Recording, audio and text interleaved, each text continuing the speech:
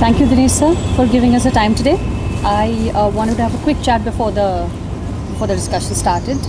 Um, could you give us a very quick thought on how your journey has been so far, as far as photography is concerned, as far as um, photographing India is concerned? How has it been for you? Well, I've been a photographer now professionally for the last 28 years. And uh, interestingly, I've not stuck to any one genre. I've been a commercial photographer, I've been a travel photographer. Uh, in recent times, for instance, I've been doing work which is to do with the NGO uh, area, a lot of CSR work.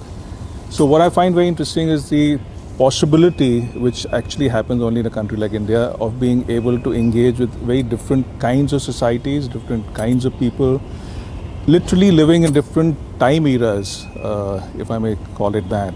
Uh, and I find that extremely fascinating. And as a photographer, I do believe I'm an observer. I don't really have any comments to make, but I certainly do want to see and share.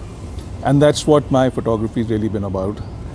And as a photographer, you can't really ask for any country better than India, which really is a continent which pretends to be a country. Yeah.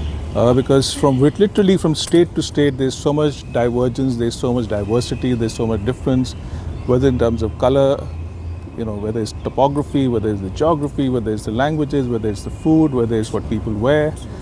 That uh, you know, this is actually more diverse than Europe is. And uh, so right here, I've spent my entire life photographing India and never being bored. It's, it's, I'm always looking forward to the next place I can go to, the next event I can capture, the next festival I can, you know, witness. So it's been wonderful. Thank you.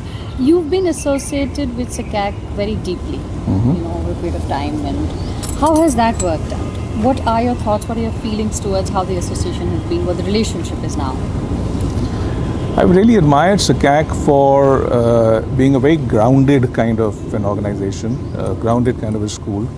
Uh, it brings to photography and therefore to students a sense of photography as a means of experiencing and as a means of documenting what they see around them.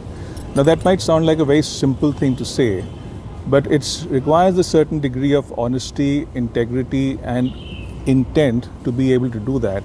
I think the kind of training which SACAC provides and the kind of vision which SACAC provides facilitates that for students, and I, I respect that really.